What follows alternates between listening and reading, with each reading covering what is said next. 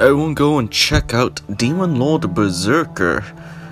He is new to YouTube. Well, was, but he is now. But he wants you all to go and give him the love and support he wants.